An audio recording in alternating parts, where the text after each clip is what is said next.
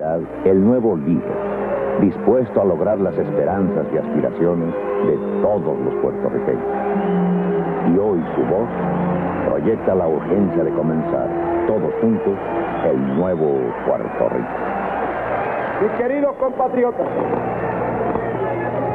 este es el momento para luchar por Puerto Rico. Yo los necesito. Vénganse a mi lado. Vamos a luchar. Pero la lucha no puede ser mía. No puede ser de los jóvenes sola. Tiene que ser una lucha de todo el pueblo de Puerto Rico para hacer el nuevo Puerto Rico. Mi hermano, el momento es ahora. Ayúdenme.